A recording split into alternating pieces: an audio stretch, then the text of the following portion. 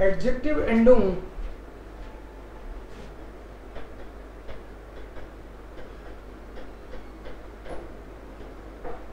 Adjective तो already आपने सीखा है एडजेक्टिव किसको कहते हैं। कोई भी ऐसा वर्ड जो नाउन की विशेषता बताता है उसको हम लोग एडजेक्टिव कहते हैं। नाउन की विशेषता बोले तो ये पेन जो है बहुत ही प्यारा है। या फिर ये चीज़ कॉस्टली है। इट्स ब्यूटीफुल इट्स ग्रेट ऐसे कोई भी क्वालिटी ऑफ़ नाउन जो होगा वो एडजेक्टिव होगा। शोन हो सकता है। साथ में आप ऑपोजिट भी बताओ इसका। शॉन का हो सकता है हैशलिश हैशलिश गुड का एडजेक्टिव ऑपोजिट क्या होगा? गुड का गुड का हो सकता है श्रेष्ठ श्रेष्ठ राइस मतलब रिच इसका पुअर आर आर जैसे जाउबर जाउबर मतलब साफ़ सुथरा. उसका हो सकता है स्मूथ सिश दुमकल लिस्ट जाउबर या स्मूथ सिश ओके दुमकल डुंकल डुंकल का मतलब डार्क एंड हेल बिल्कुल। डुंकल और हेल ऐसे करके ये एडजेक्टिव है। ये किसी न किसी की विशेषता बताएँगे। जैसे जो कॉफ़ी आ रही है ये हॉट है भी कॉफ़ी सो हाइस और एकदम ठंडा हो तो काल्ट ये जितने भी एडजेक्टिव हैं ऐसे हज़ारों हो सकते हैं। तो कभी कभी तो क्या होता है? कि एडजेक्टिव आ जाता है, लेकिन उसमें एंडिंग नहीं लगती। एग्ज़ाम्पल बताओ।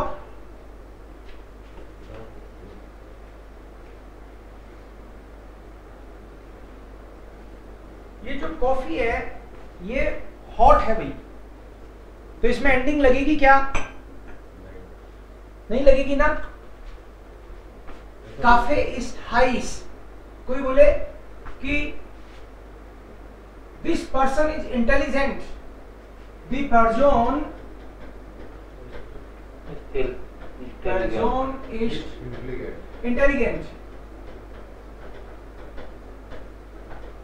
तो बहुत बार तो ऐसा होता है कि एडजेक्टिव आता है और उसके एंडिंग लगता ही नहीं। और आप अक्सर ऐसे देखते हो जैसे मान लो कि ये बूट है कोई या शोन है तो कभी तो ये बन जाता है गुटन कभी बन जाता है गुटर। कभी बन जाता है गुटे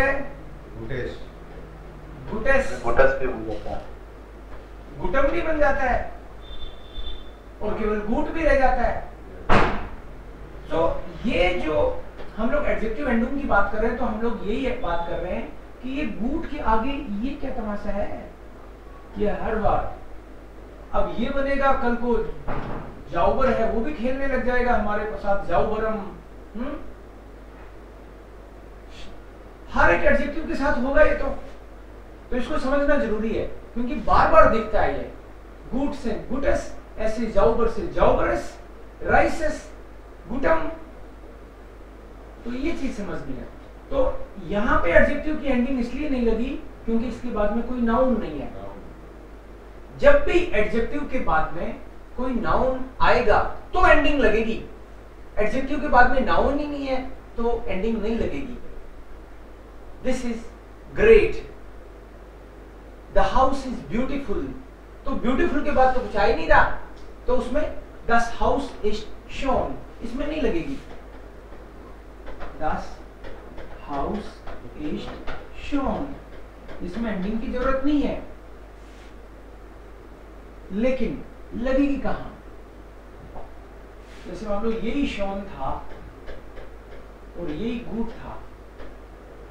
अगर इसकी एंडिंग को अपन को पहचानना है तो हमको टेबल लर्न करनी पड़ती है। जैसे डेयर दी दास्ती वाली टेबल तो आपको ऑलरेडी आती है।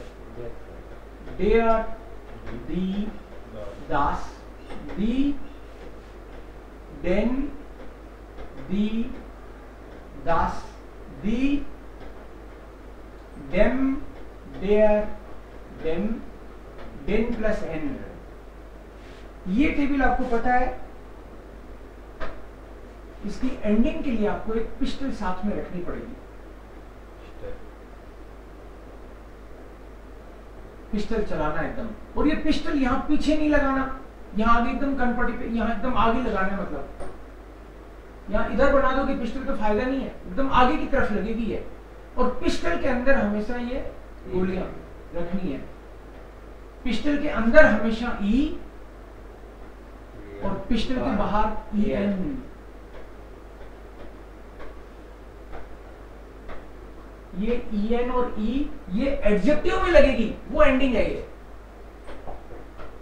So again nominative accusative and dative masculine feminine knoll and plural if I say now I am purchasing the beautiful house तो ब्यूटीफुल इसमें हम लोग यूज़ करेंगे बट तो- में भी होती होगी ना एंडिंग बिल्कुल होती है गेनेटिव में भी ईएन होती है हर बार। गेनेटिव की अच्छा, एंडिंग ईएन होती है। यस गेनेटिव का फिक्स है ईएन होगी। ईएन ईएन ईएन और आगे आ जाएगी। सो मैं अगर ऐसे बोलूँ I am purchasing the house तो इसमें तो एडजेक्टिव नहीं है तो पहले तो इसको बना लेते हैं। I am purchasing the house purchasing the house तो क्या होगा? इश इश काउफे दास हाउस बिल्कुल। अब ब्यूटीफुल और लगाना है। I am purchasing the beautiful house तो एंडिंग डिसाइड करने के लिए आपको ये पता होना चाहिए कि इससे पहले जो वर्ब आ रही है वो नॉमिनेटिव अकुजाटिव डाटिव क्या है? और इसके बाद में जो नाउन आ रहा है उसका आर्टिकल क्या है? सो आर्टिकल हाउस का दास house and verb is nominative accusative और डाटिव वर्ब डाटिव है पक्का? आपको डाटिव लग रही है मुझे तो। तो नहीं आपको डाटिव नहीं ये वर्ब जो है काउफन एक्चुअली उस कैटेगरी की वर्ब है जिसको हम लोग कभी कभी एनवीडीए बोलते हैं। इस वर्ब के अगर बाद में कोई पर्सन आता है तब तो ये डाटिव बन जाती है और इसके बाद में थिंग आती है तो ये आकुजाटिव बन जाती है। तो यहाँ पे आकुजाटिव लेगा सो इस काउफर दास न्यूट्रल में आकुजाटिव देख लो। आइन आइन एंडिंग ई लगेगी। आइन आउट तो दास शोन हाउस शोन में ई एंडिंग लग जाएगी। इश काउफे दास शोन house I am purchasing the beautiful house अगर मेरे को बोलना हो the beautiful house is expensive दूसरा सेंटेंस बना रहे हैं हम लोग। The beautiful house is expensive यार ये सुंदर घर तो महँगा है। The beautiful house is expensive so beautiful नहीं लगाओ तो द हाउस इज़ एक्सपेंसिव हो जाएगा। दस हाउस इज़ टॉयर एक्सपेंसिव इज़ टॉयर द हाउस इज़ एक्सपेंसिव लेकिन ब्यूटीफुल और लगाना है तो क्या होगा? कोई एंडिंग भी लगेगी क्या? एंडिंग लगाने के लिए ये देखना पड़ता है हमको हर बार। उसके बाद में जो भी नाउन आ रहा है उसका आर्टिकल क्या है? दास दास। दास है आर्टिकल तो। और उस ये जो नाउन है ये सब्जेक्ट है कि ऑब्जेक्ट है? सेंटेंस में? सब्जेक्ट सब्जेक्ट है। तो इसका मतलब है नॉमिनेटिव केस देखना है और उसका आर्टिकल दास। सो नॉमिनेटिव तो ये सारे ही हैं। देर दी दास दी। पहली लाइन नॉमिनेटिव ही होती है। ये सारे ही नॉमिनेटिव है। लेकिन मेरे को तो हाउस से मतलब है। तो हाउस नॉमिनेटिव अगर हो तो एंडिंग लगेगी ई ई एंडिंग लगेगी।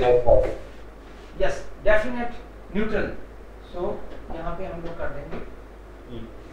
The Schöne house is teuer.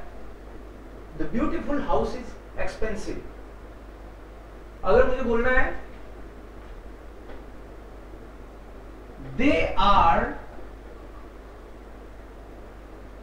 they are purchasing my uh, mining they are purchasing the black pen इसको करते हैं they are purchasing the black pen okay marker pen word use करेंगे हम लोग स्टिफ्ट der स्टिफ्ट है ये. Der स्टिफ्ट यूज़ करेंगे. They are purchasing the black black को क्या बोलते हैं. और पेन को क्या बोलते हैं? स्टिफ्ट यूज़ किया हमने इसके लिए. बोल पेन होता तो हम लोग कूली कर लेते गूगल श्राइबर कर लेते इंक पेन होता तो फ्यूलर कर लेते कोई भी लिखने का जनरल स्टिफ्ट यूज़ कर सकते हो आप सो दे आर परचेजिंग पहले तो इतना लिखो दे आर परचेजिंग. जी Kaufen. काउफन दे आर परचेजिंग. ब्लैक नहीं लगाए अगर ब्लैक नहीं लगाए they are purchasing the pen तो क्या हो जाएगा आकुजाटिव है कि डाटिव है Akkusativ. आकुजाटिव है सो जी काउफन Kaufen. Pen. देन स्टिफ्ट Schwarze. Schwarze. यहाँ पे यस Schwarze. Schwarze. क्या लगेगा? देन तो लगेगा ही लगेगा। देन यहाँ लिख देते हैं ब्लैक Schwarzen, Ian ending. स्वार्ट्स में ईएन एंडिंग बोल रहे हो आप। जब आप ईएन एंडिंग बोल रहे हो या जो भी एंडिंग लगाता है वो हर बार ये सोचता है कि इसके बाद में जो नाउन है उसका आर्टिकल क्या है? तो इनको आपको पता है मैस्कुलिन आर्टिकल तो। जो मैस्कुलिन तो आर्टिकल है इसका तो मैस्कुलिन है तो साथ में आप ये भी बता दो कि ये सब्जेक्ट है या ऑब्जेक्ट है? ऑब्जेक्ट ये ऑब्जेक्ट है क्योंकि सब्जेक्ट तो यहाँ ऑलरेडी आ चुका है। तो आप आकुजाटिव और आकुजाटिव मैस्कुलिन कहाँ पे देखो? यहाँ से। मैस्कुलिन में आकुजाटिव देखा? तो डेन के बाद में जो भी एडजेक्टिव आएगा उसमें ईएन लगेगा। तो ये डेन के बाद में तो स्वार्थ आ रहा है तो स्वार्थ में ईएन लग जाएगा। जी काउफन डेन श्वार्टसन स्टिफ्ट okay next sentence the children are playing outside sentence normal है? इसमें एडजेक्टिव नहीं लगाया मैंने. The children are playing outside बोलो.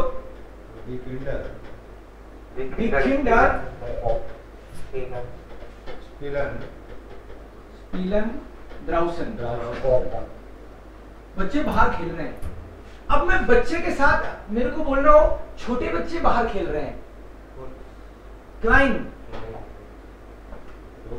क्लाइन लगाना हो मुझे तो केवल क्लाइन लगाने से काम चलेगा क्या?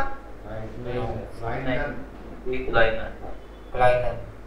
लगेगा कि ई लगेगा कि क्या लगेगा। Big liner. ईएन बता रहे हो? तो इसका मतलब ये हुआ कि जब भी जहाँ भी आपको एडजेक्टिव लगाना है उसके बाद में आप सबसे पहले ये देखते हो कि वो नाउन है। वो सब्जेक्ट है कि ऑब्जेक्ट और उसका आर्टिकल क्या है? यहाँ पे आपने देखा ये क्या है? ये क्या है? ये नॉमिनेटिव है ना? Yes, sir. सब्जेक्ट है मतलब नॉमिनेटिव और उसमें भी plural Yes, sir. Nominative plural देखते हैं इसमें अपन। पहली लाइन ये। ये रही। तो दी तो लगा हुआ है ईएन लगाना है एडजेक्टिव में। तो ये देखो दी तो लगा हुआ एडजेक्टिव क्लाइन में ईएन लगेगा। सो दी क्लाइन एंड किंडर स्पीलन ड्राउसन ऐसे तो आपको जनरली जब भी प्रीपोजिशन आए तो प्रीपोजिशन से और केवल वर्ब आए तो वर्ब से। या फिर नॉमिनेटिव केस हो तो वर्ब का भी रोल नहीं है। हाँ, जब केस ही नॉमिनेटिव है वर्ब का रोल तो आता है वर्ब के बाद में आए तो। तो आप जहाँ भी एडजेक्टिव है उसके जस्ट बाद में देखा करो कि कोई नाउन है क्या। नाउन होगा तो बात आएगी एंडिंग की नहीं तो बात ही खत्म। जो भी एडजेक्टिव है, उसके बाद में जो नाउन है, उससे डिसाइड होगा। लेकिन जो नाउन है, उसके जस्ट बाद में अगला क्वेश्चन दिया है कि नाउन है वो नॉमिनेटिव है आकुजाटिव है या डाटिव है? और उसका आर्टिकल क्या है? इतना करते ही काम हो जाएगा। तो इसमें हमने देखा, ये तो प्लूरल आ गया। प्लूरल आ गया तो आर्टिकल की बात ही खत्म। क्योंकि सिंगुलर का आर्टिकल देर दी, दास होता है, प्लूरल का तो हमेशा ही दी, मान के चलते हैं हम लोग। तो ये तीन चार चीज़ें आपको दिमाग में रखनी है, फिर इसमें टेंशन नहीं होगी। तो ये तो हमने किया डेफिनेट का। जैसे डेफिनेट की टेबल बनाई हमने, इसको बेस्टिम्ट बोलते हैं बेस्टिम्ट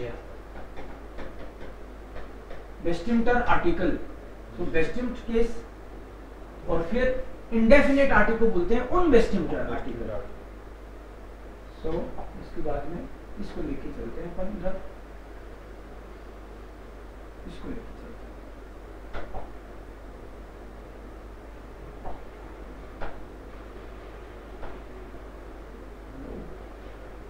Wir haben das nicht. Okay, we wir schreiben noch einmal. Kein Problem. Der, die, das, die, denn, die, das, die, this was definite. Them, der, dem, den plus N ये हमारी definite वाली table है। इसमें तो already pistol बनाई थी हमने। ई E E and इसके बाहर E N E N E N E N E N and E N masculine feminine neutral and plural nominative accusative dative ये हो गया बेस्टमटर डेफिनेट की टेबल बनाई हमने। बेस्टमटर मतलब डेफिनेट इस पूरी टेबल का मतलब है द बेस्टम का मतलब ये डेफिनेट अगर हमको इंडेफिनेट में एडजेक्टिव लगाना है इंडेफिनेट का मतलब है अ की ये तो द की टेबल है. डेढ़ दी, दास दी, देन दी, दास दी. ए की टेबल लगानी है तो आइन आइने आइन। ये वाली। इसको भी मैं उसी कलर में करता हूँ। वापस, ताकि सारी एक उत्तर है आइन। आइने आइन। प्लूरल नहीं मान के चले। आइनन। आइने आइन। क्योंकि बात एक की हो रही है, इसलिए प्लूरल वाले को एक बार मैं छोड़ रहा हूँ खाली। आइनम आइनर आइनम ये आपकी टेबल वही नॉमिनेटिव अकुजाटिव डाटिव वही masculine feminine neutral and plural इसको खाली इसलिए छोड़ा हमने क्योंकि बात हम लोग अ की कर रहे हैं। एक सिंगल केस की बात कर रहे हैं। सिंगुलर के लिए आइन का मतलब ही सिंगुलर के लिए आएगी ये टेबल इसको यहाँ लिखा हमने बेस्टिम्ड कभी कभी आपको बेस्टिम्ड वर्ड लिखा हुआ दिखेगा बेस्टिम्टर आर्टिकल।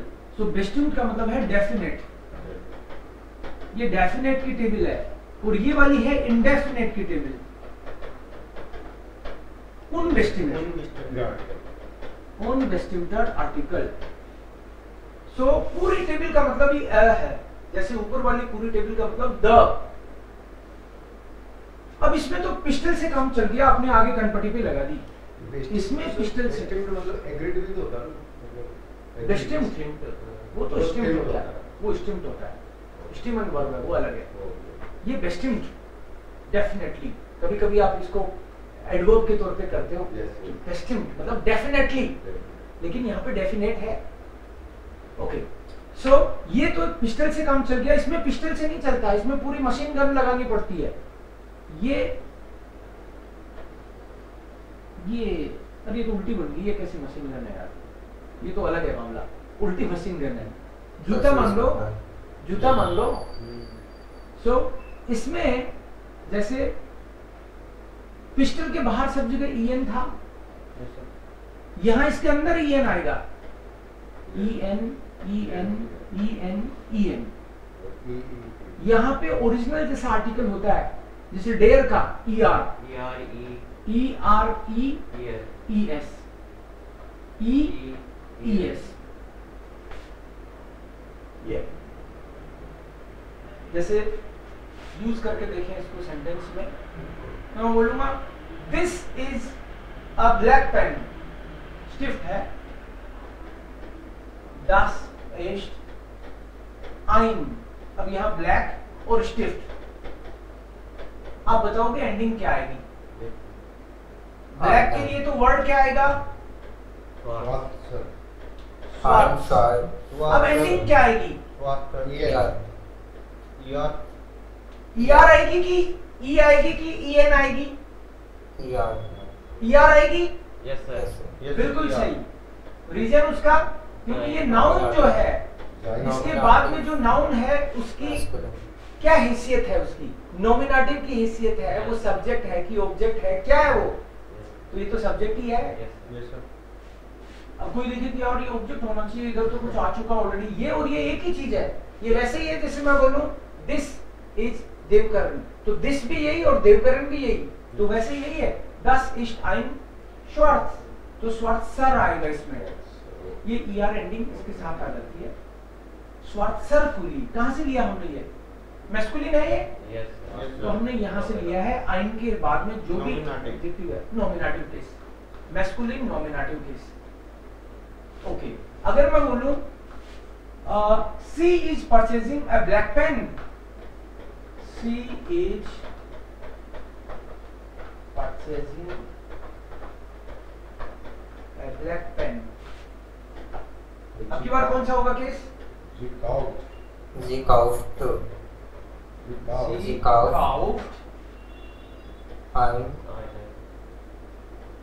ah, आईने करूँ क्या? नहीं नहीं sir, कीवर्ड यूज़ करने वाले हैं हम लोग। Einen. einen होगा जो कि डेर होता है। Einen. तो आइनन करूँ? Yes. steht. einen ईएन लगा रहे हो तो मैं पूछूँगा क्यों लगाया? कहाँ से लगाया ये? वो बताओ। आपने ये जो ईएन लगाया है तो ये कहाँ से लिया है? Sir, आपको Accusative. आपको Accusative. Accusative masculine. आपको बिल्कुल सही। लेकिन आप ये भी बताओ आकुजाटिव बनाया क्यों? ये आकुजाटिव क्यों है? है। काउफन वर्ब आकुजाटिव है वेरी नाइस अगर काउफन वर्ब आकुजाटिव है तो उसके बाद में केस भी आकुजाटिव होगा। सर इसमें आइनन और स्वात्सन दोनों में लगेगा मतलब दोनों में कहाँ लग रहा है? इस एडजेक्टिव नाम ही ही लगता तो भी आइनन तो करते ही हो आप आइनन तो पहले से ही ना आपको एंडिंग तो एडजेक्टिव की एंडिंग तो ईएन ही। है यस आइनन तो आर्टिकल है आपका नॉर्मल आर्टिकल तो लगाते ही है ना अपन। तो जी काउस्ट आइनन श्वार्ट्सन कुली ओके अगर मेरे को ये बोलना हो आ, मैं एक इंटेलिजेंट आदमी के साथ आ रहा हूँ। I am coming with an intelligent- इसको मैं में इंटेलिजेंट इसको में इसको मैं मिट। आइनम तो मन वर्ड यूज़ करेंगे ठीक है? मन मतलब आदमी के साथ। इंटेलिजेंट आदमी के साथ आ रहा हूँ। सो इसको मैं मिट। इंटेलिजेंट को इंटेलिजेंट ही बोलते हैं। इसको मैं मिट। आइनम आइनम इंटेलिजेंटम So only article will table is in. हाँ? और लगा। ए तो लग गया तो हाँ। ए की टेबल आएगी। इंटेलिजेंट के साथ क्या एंडिंग आएगी? ये बताओ। ईएम ईएन ईएन देखो डाटिव केस में आप अच्छा हाँ ईएम डाटिव केस में दोनों में चाहे की टेबल हो चाहे ए की टेबल हो डाटिव में है ही ईएन ईएन ईएन सब जगह। ईएन ईएन ओके डाटिव में दोनों में है ही ईएन तो ईएन की तो पॉसिबिलिटी है ही नहीं. यस नेक्स्ट अगर मेरे को ये बोलना है तो यहाँ ईएन आएगा. ये तो समझ गए होंगे आप. ईएन आएगा. तो प्रीपोजिशन आ जाए तो प्रीपोजिशन के हिसाब से चलेंगे. और प्रीपोजिशन नहीं आए जब तक वर्ब के हिसाब से गाइड होंगे अपन।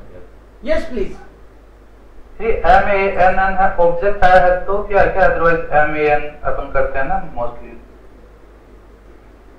मान को एम ए एन बोलते दोनों में फ़र्क है। कौन बताएगा? एम ए एन और एम ए डबल एन में क्या फ़र्क है? सर एम तो जैसे अ, किसी भी हम आ, आम आदमी के लिए यूज़ कर सकते हैं मान यानी शायद हस्बैंड के लिए यूज़ होता है। हर आम आदमी मन और मान दोनों में फ़र्क है। ये मेल मेल पर्सन के लिए यही आता है। ये डेर मान होता है आदमी और हस्बैंड दोनों के लिए यही है। और दी फ्राउ का मतलब लेडी और वाइफ दोनों के लिए ये वर्ड आ सकता है। हाँ। तो मान मान पर्सन कोई भी हो सकता ये वाला। है एम ये इस मान का मतलब है वन वन। इसका मतलब तुम भी है। Someone ये वो वाला। जैसे ये जनरल जो मान है इसका मतलब होता है जैसे वन इज़ नॉट अलाउड. यहाँ पे सिगरेट पीना अलाउड नहीं है। सो मान डार्फ निस्ट हियर राउखन तो मान का मतलब कोई भी किसी को भी अलाउड नहीं है। You are not allowed here लेकिन यू ही लिख देते मान लिखने की क्या ज़रूरत है? ये इनडायरेक्ट प्रोनाउन है। हो इनडायरेक्ट ये। सर इनडायरेक्ट सकता हाँ। कोई भी हो सकता है। लेडीज़ को भी अलाउड नहीं है जेंट्स को भी अलाउड नहीं है बच्चों को भी अलाउड नहीं है किसी को अलाउड नहीं है। One is not allowed you are not allowed but you बोलने की बजाय मान बोलने से थोड़ा इनडायरेक्ट रहता है। The more indirect the more polite ठीक है? Man kam hier nicht rauchen. Man darf hier nicht rauchen. Man kann yoga माखन। कि भाई क्या करें मॉर्निंग में? फ्री रहते हैं। मन kann योगा माखन। तो वन कैन अब कहूँ कि तुम योगा कर लिया करो तो तुम्हारे पास तो बहाने बहुत है।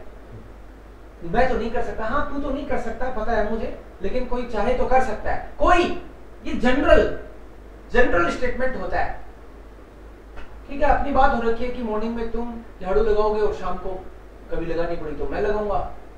तुमने लगाई नहीं तो मैं तुमको याद दिलाने के लिए बोलता हूँ, मान जोल्डर आओ खन। तो तुम समझ गए मेरे को ही कह रहे हो। लेकिन इनडायरेक्ट है ये। ठीक है? वन चलो टॉपिक से अलग चले जाएँगे। मान को लिख लो। फिर पूछूँगा मैं कल, क्या डिफरेंस है दोनों में? अभी बात करते हैं हम लोग third thing this was definite जहाँ भी द की ज़रूरत पड़ेगी, ये टेबल फॉलो करेंगे.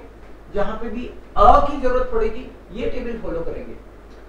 लेकिन इस टेबल में एक खास बात रहा है. बहुत इंपॉर्टेंट टेबल है सेकंड वाली. कभी कभी मान लो आपको पॉजिटिव की ज़रूरत पड़े. जैसे आप बोलोगे, मेरा छोटा भाई.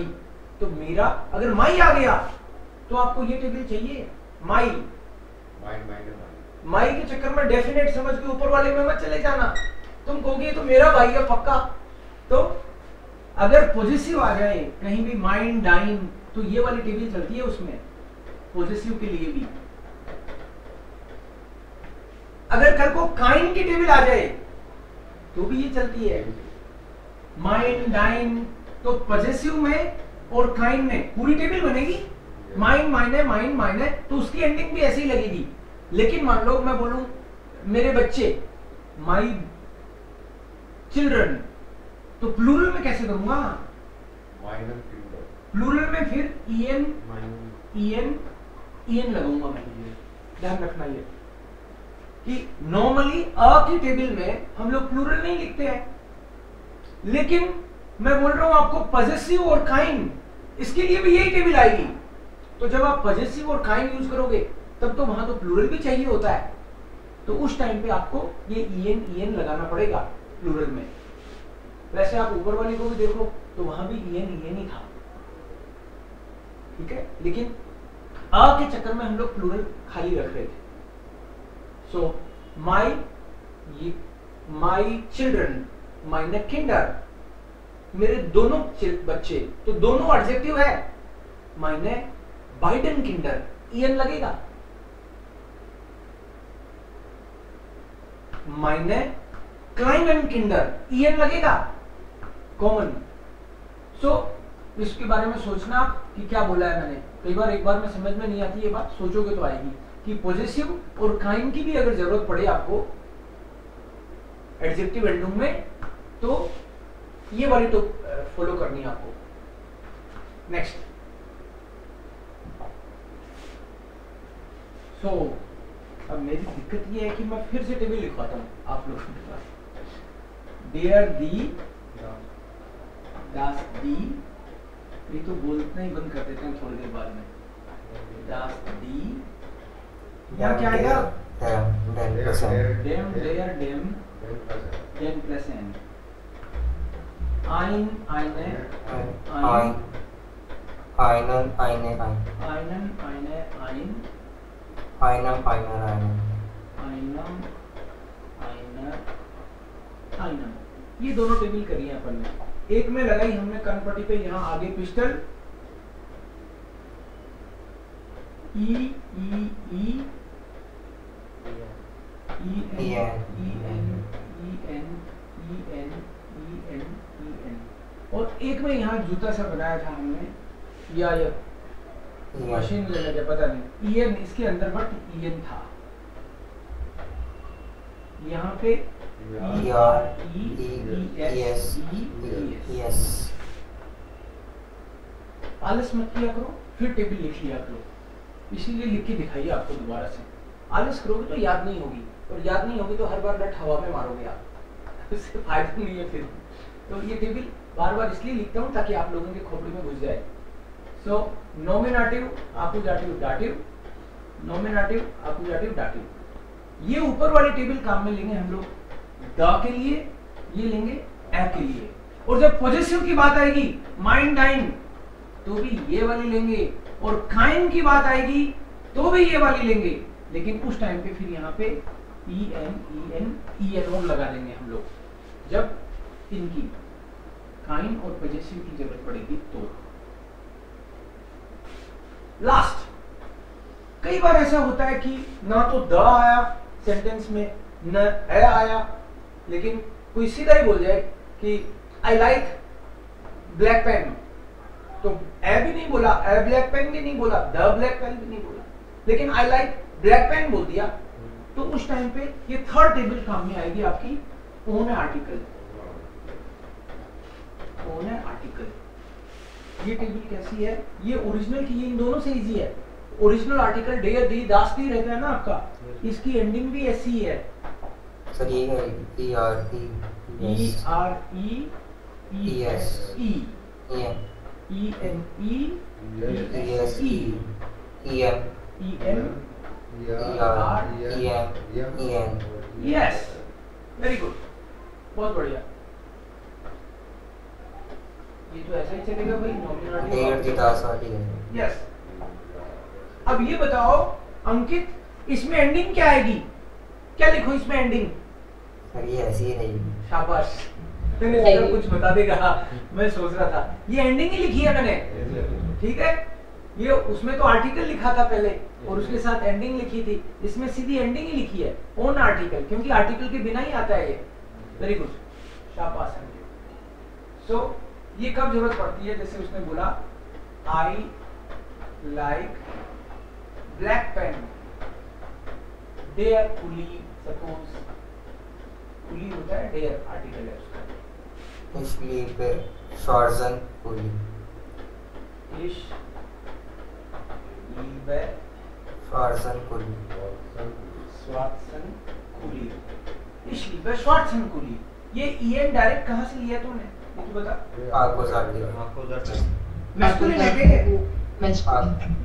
तो है। यस बिकॉज़ इसका आर्टिकल डेयर है। मतलब मैस्कुलिन यस तो मैस्कुलिन अकुजाटिव हो गया। अगर मेरे को बोलना हो दे लव स्वीट चॉकलेट्स तो जी लीबन दे होगा जी लीबन जी लीबन ज्यूसन। ज्यूसन चॉकलेट जूस हाँ ज्यूसन। ये लगाऊँ क्या? या ज्यूसन चॉकलेट जूशन चॉकलेट शोकोलाडन चॉकलेट्स कर रहे हो तो। जूशन ये कहाँ से लिया आपने ये? जूशन कहाँ से लिया है? मैं तो- सर मेरे को तो लग नहीं रहा है सही है। ई आएगा सर ई एन नहीं आएगा नहीं आ गए हम तो इनकी चक्रों में। जूस के साथ ई लगेगा। चॉकलेट है तो मैंने पर लिया ओके सो ये प्लूरल है ना? प्लूरल है और अकुजाटिव है। यस सर तो अकुजाटिव कैसे हुआ? ये तो बताओ। सर लीबन क्योंकि वर्ब अकुजाटिव है। सो वर्ब अकुजाटिव है और प्लूरल है। और द लगा नहीं तो ये टेबल तो यहाँ पे प्लूरल में अकुजाटिव ई लगता भी। जूस है Schokoladen. Yes Small kids are playing. क्या होगा? स्मॉल किड्स आर प्लेइंग छोटे बच्चे खेल रहे हैं। तो kleinen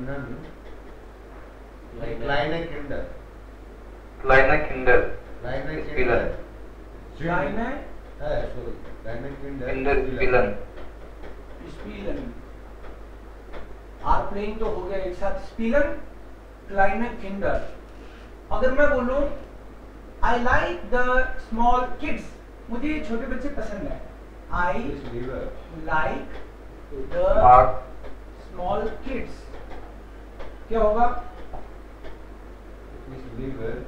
Please leave her. इश मार्क Ich mag Kleine Kinder. kleine Kinder. Mark. मेरा ठीक है क्या हाँ या सोच लो मैंने तो ऊपर तो लिखा है I like the small kids eine Ich mag- kleine Kinder. Die kleinen Kinder. दी लगा दूँ. दी Die Kleinen.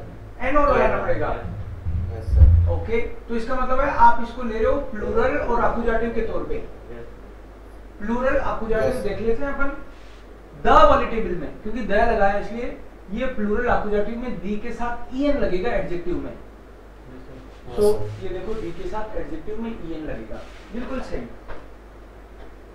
तो एडजेक्टिव एंडोम टफ नहीं है। आपको ये समझना है कि कहाँ पे कौन सी टेबल आएगी? कहाँ पिस्टल चाहिए? कहाँ पे मशीन गन चाहिए और कहा इसके बिना प्यार से काम चल जाएगा। ये आपको समझ आना चाहिए। ठीक है? अब इसकी प्रैक्टिस के लिए हम लोग शेयर करते हैं एक्सरसाइज